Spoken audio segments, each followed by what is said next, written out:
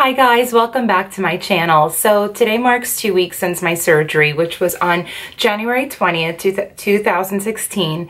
Um, and so I have all the stats for you of um, today, as well as just some of the things I've been kind of going through this week. Um, so my highest weight recorded was 139. Um, my height is just under 5'8". Um, my surgery date, my surgery date weight was 130.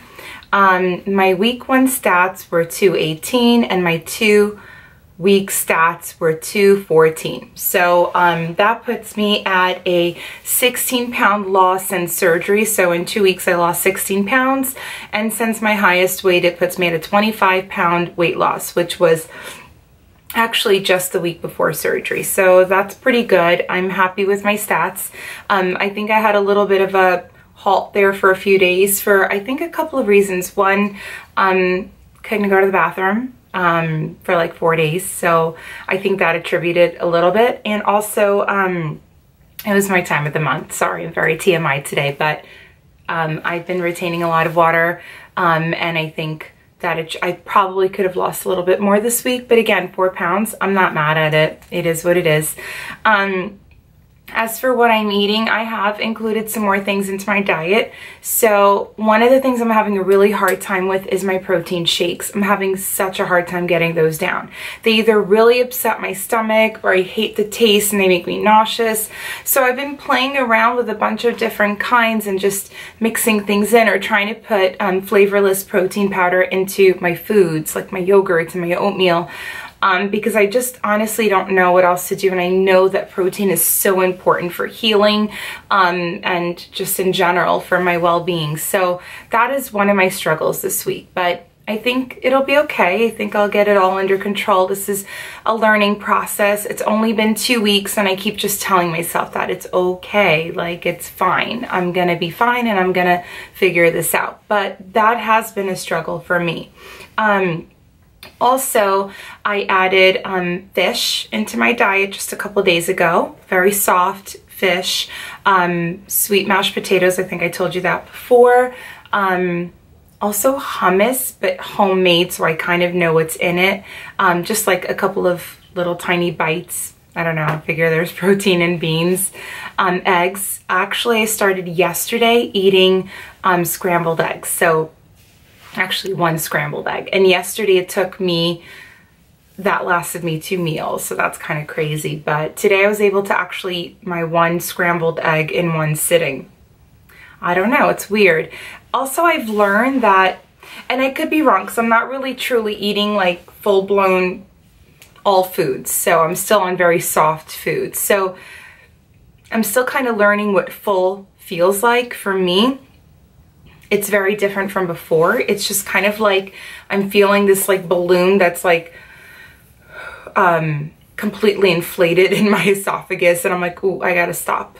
Um, so it's weird. Like when I start to feel that, I just stop eating or drinking because it hurts.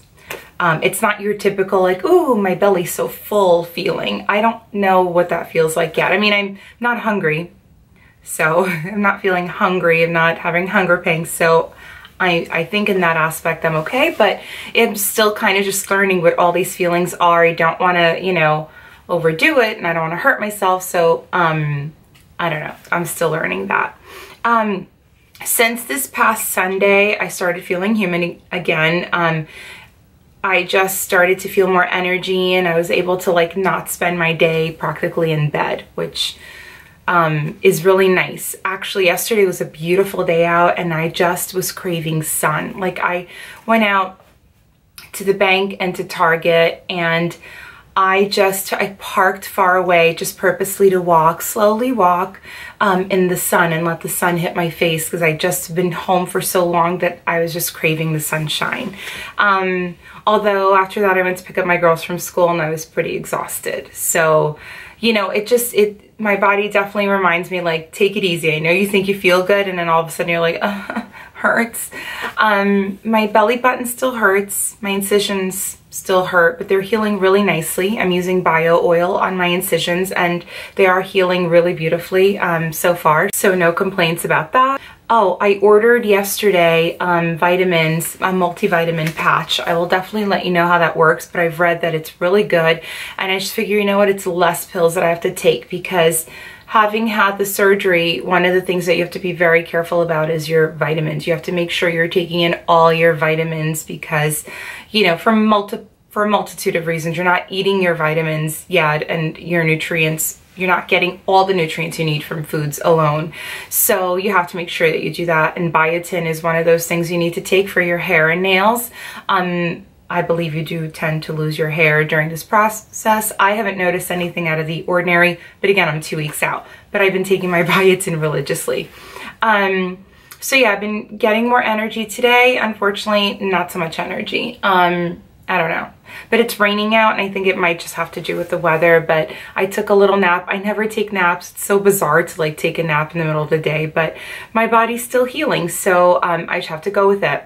As far as like my body goes, I definitely see a, a big difference actually when I look in the mirror. Um, in my body. Um, so I definitely see a lot of changes happening, like whether or not there's scale changes, there's definitely a lot of changes going on. And I think for me, that's such a motivator to see myself feeling lighter. I, I don't feel that bloated, like that two o'clock feeling, you know, when you're so tired and you're just like after a big meal, I don't feel that anymore. And it's actually kind of nice to not feel that because it's good to feel good. I will be adding more foods into my diet. Actually, yesterday I did have uh, mashed cauliflower and that was yummy. It was, it was actually really good. I had that with fish. Today I'm gonna try salmon. Um, again, the portions are really, really tiny. When I say I'm eating these things, it's like one little tablespoon of this with a couple of little bits of that. And, you know, that's enough. And sometimes I have to break that up into two meals. So, you know, just learning and kind of sharing with you everything that I can and that I've learned myself. But it's going to be a long journey and I'm excited that you're along for the ride. So thank you so much for watching my videos and supporting me. You guys have been so amazing. All the comments that you've left all throughout my social media or emails. I've had people email me and I just, I, thank you so much from the bottom of my heart. This was not an easy journey to share with with you so publicly, but I know that I know that it's the right thing to do because I'm hoping that somebody out there watching this, whether you reach out or not, you know, maybe can benefit from my experience. Um, so thank you so much. Uh, be sure to follow along. Follow me on Instagram. I'm really um, uh, active there. Facebook, Twitter, Snapchat's always fun. So definitely follow me. If you like my channel and you want to see more of these videos or beauty videos, I do have a beauty channel. Um, definitely subscribe. Give this video a thumbs up. And um, and also I do have a beauty blog, Fashion Maven Mommy, so go check me out there as well. Thank you so much for your support and I'll see you next time. Bye guys.